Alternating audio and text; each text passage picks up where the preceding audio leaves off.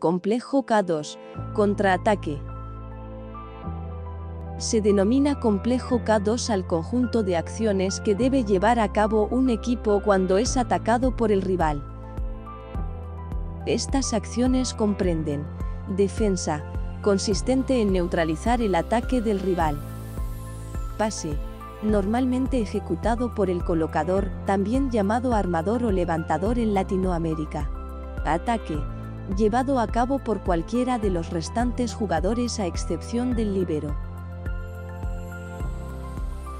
Una primera línea de defensa estará compuesta por el bloqueo, cuya misión es reducir el espacio que puede ser atacado con un remate directo, repeler el balón de vuelta hacia el campo rival o amortiguar la velocidad para ser fácilmente defendido.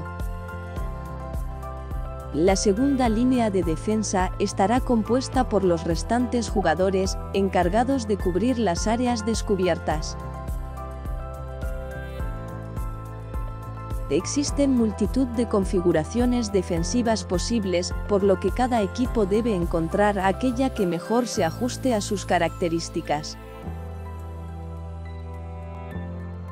A la hora de configurar un sistema de defensa para nuestro equipo se deben tener en cuenta principalmente cuestiones como la capacidad de bloqueo, es decir, el número de jugadores que pueden formarlo en cada momento o la posición donde puede ejecutarse.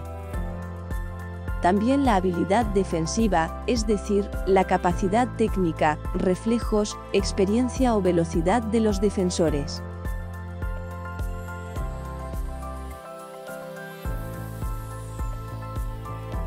Todas las configuraciones persiguen el mismo objetivo, ofrecer al rival el menor número de espacios libres.